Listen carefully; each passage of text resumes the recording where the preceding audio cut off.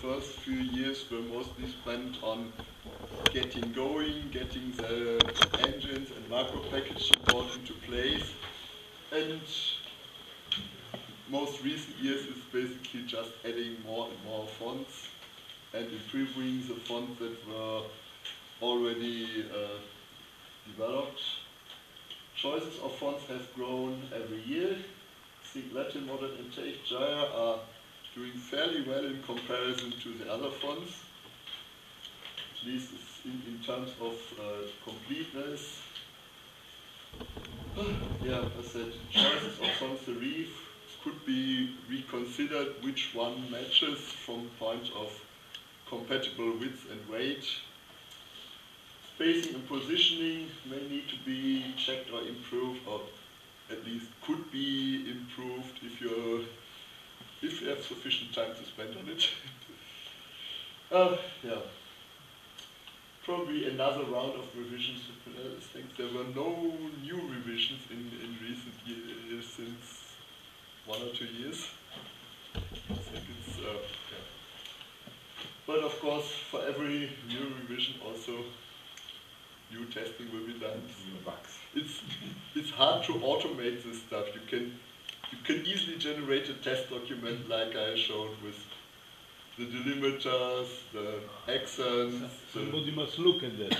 Yeah, but then you have to look at this visually, see, okay, this one looks too close, this one looks incorrect, there's something strange here, and yeah, you can only do this visually by eye. it's not, this is something you can't really automate well.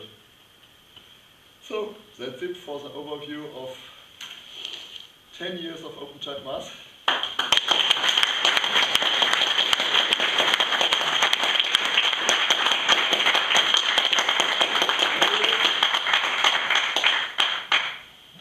So uh, maybe we could take uh, 10 more minutes for questions since uh, you told me he would be quite quick with uh, his speech, but if you have questions. Looking at it in the future, what's your hopes or wishes for the next 10 years of math types? What's your biggest wish? What's the biggest need? The biggest problems? Good question. well, maybe, as I said, maybe another round of revisions to the fonts that were developed in the years to make them really production ready uh, in terms of. Uh, yeah, maybe Barbara can comment on that, but her wishes from the point of view on uh, as a publisher.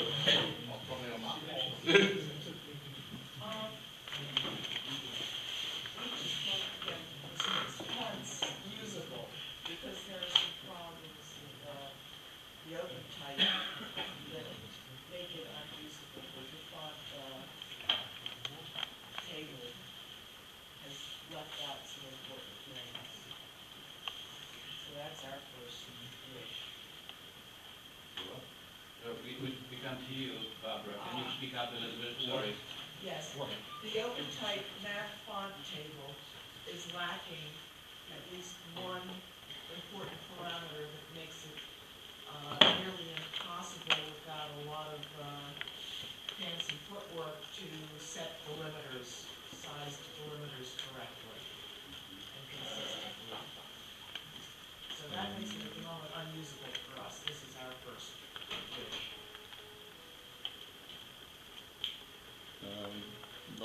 100% sure what you are referring in terms of the delimiters. Ah, I What it should be a parameter? I what get- parameter do you need? I, I have forgotten which one it is, but it's one that's, I uh. think it was something it was for the delimited fractions. Could it be this uh, thing with the delimited fraction with the atop with the limbs and Yes. Yeah, it's a binomial That's the equality. one. Binomial symbols, these kind of things, yes. That is the one.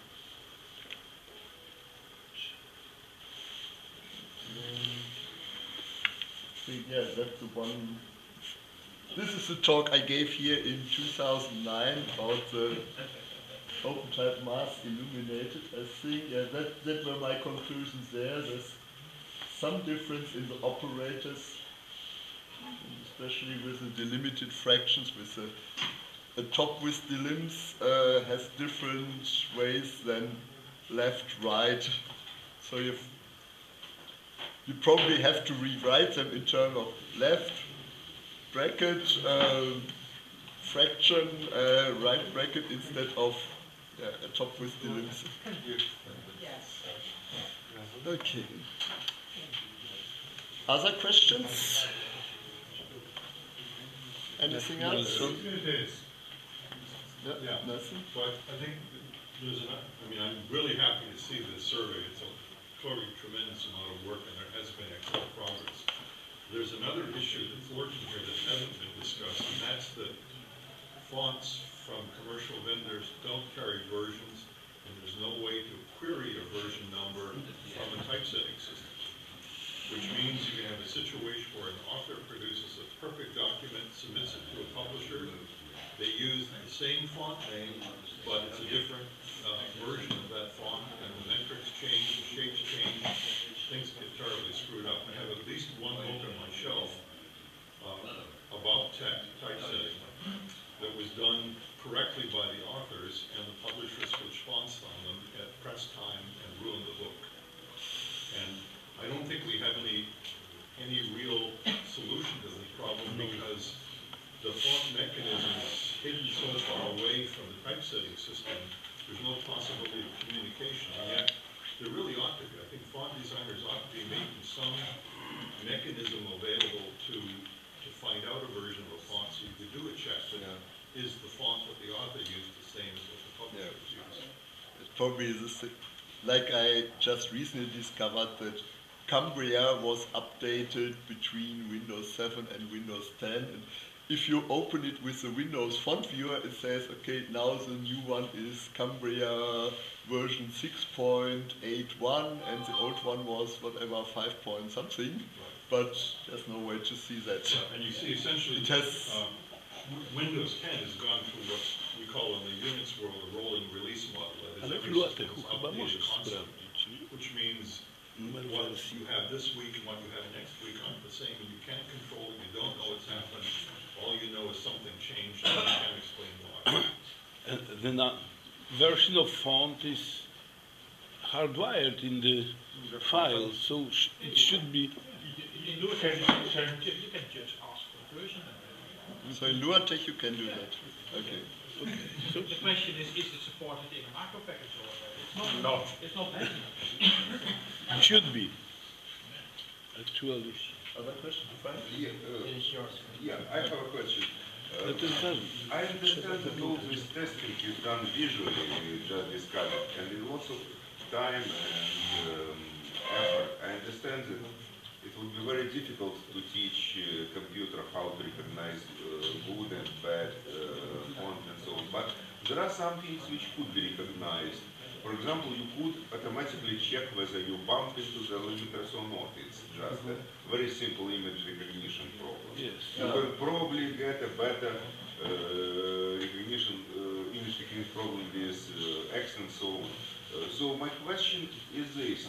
Uh, would some screening, obviously there are something which would, should be done by human eye, but if you could some, do some automatic screening for test, would be, uh, would, would be, would be, uh, would be interesting enough for you and other people so you could think about finding a computer science student to make a work of automatic sum font testing and which problems would be Why not? there. Why not? Yeah. it, it looks like it's Bumping can, something. you are right, the bumping can be detected automatically. Yeah. Maybe shift of accent Yeah, could also be. Um, yeah. But, but the problem is that everything that uh, can be automatically detected, we can automatically uh, correct. So in, in, if we if we know what is the problem, we can correct yes, sure. in ma- many, Yeah, in yeah. most of cases. So it's, if you write a script to uh, detect, it's already corrected. yeah, yeah, I agree. I agree. So some sort of a some sort of scripts of screen would be probably good uh, for font designers as well. They could just. For, for example, for placing accent, we, Yeah. we we have the, the algorithm which takes the position of uh, high uh, part of the letter and position uh, accent over it. On, we, we can't ju- just the uh, uh, slice from the top of, of the letter and position it only over it.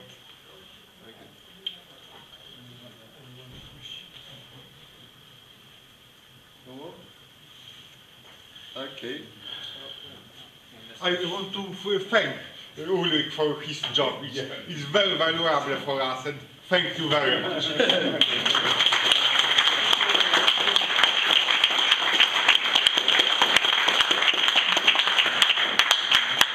I have a suggestion to collect all your slides at one place. I mean, it would be really nice to get some overview of that, like also combining with previous ones. Oh,